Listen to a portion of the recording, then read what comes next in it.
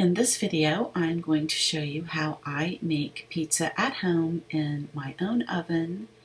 And we are going to be using ingredients that I purchased from Trader Joe's.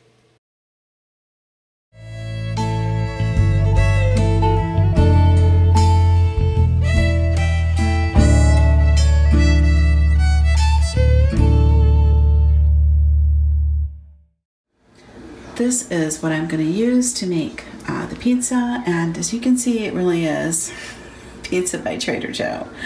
I've got Trader Joe pizza sauce, I've got Trader Joe shredded cheese, and I've got Trader Joe pizza dough. And honestly, I've tried all kinds of take and make pizza doughs, and this is my favorite. I absolutely love it. Um, this is what I make for our pizza on. Like we have it maybe once a week and this is how I always make it. I just um, love this combination.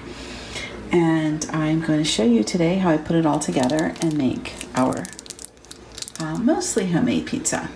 Uh, the first thing that you're going to want to do is get it out of this package and into a bowl and let it um, have a couple of hours um, the warmth and uh, that will make the dough a lot easier to work with. So that's what I'm going to do now. I'm going to take it out of here.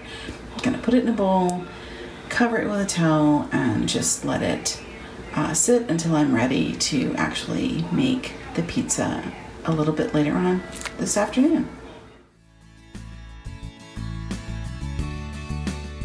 My pizza dough has been sitting covered in a bowl for a couple of hours and so it's come up to room temperature.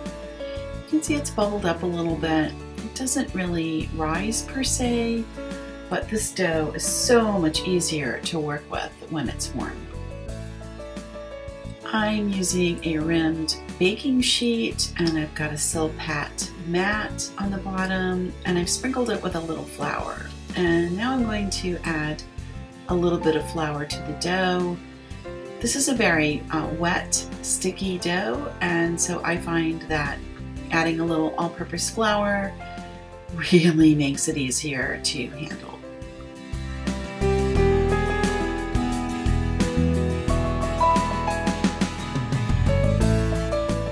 Okay, I am just a home cook. I am not a professional chef. and so this is how I work with the dough. I just kind of gently stretch it out.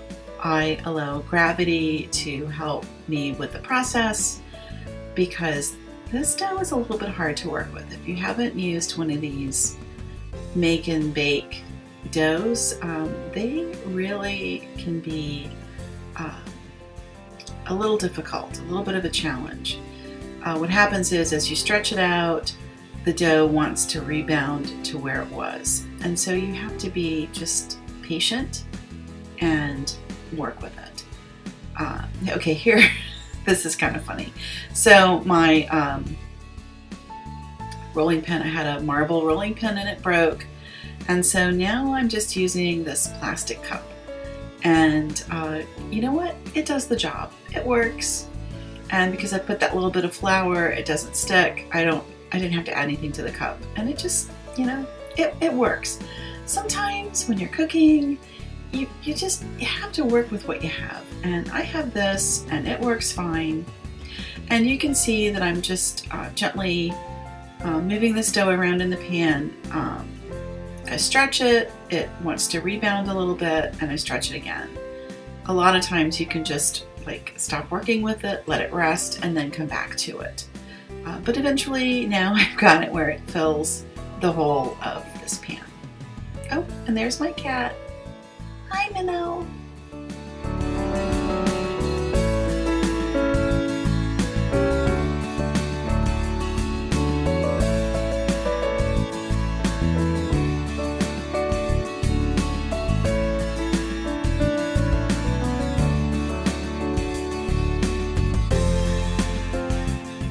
And now I'm just adding my um, tomato sauce. This is like a traditional style pizza with a red sauce and mozzarella cheese. And you know, you just put this onto your liking. I like a little more sauce than um, than than not, And so I just put it on and even it out as best I can. I just use the back of a large spoon. And I'm going to add my mozzarella cheese right onto the sauce. And I like a little extra cheese, so I'll put it on there. You can customize your pizza with your favorite toppings. Here I'm putting on just a little bit of red pepper flakes because I like the spice.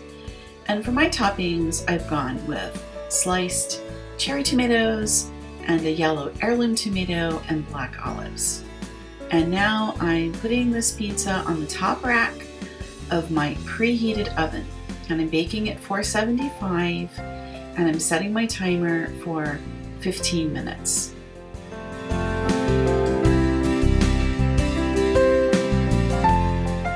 Oh, it looks so good. Uh, so you could take it out at this point, but I always finish my pizzas off with a quick broil.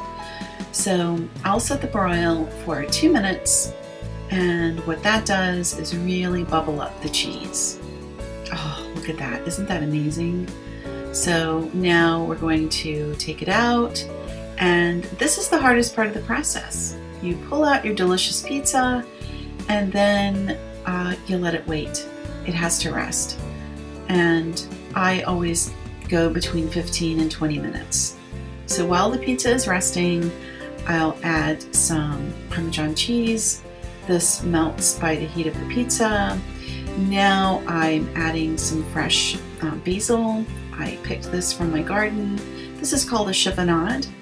And what you're doing is you're just rolling all the leaves up into a little bundle and then you slice them into these little thin ribbons. And I'm going to sprinkle those on top.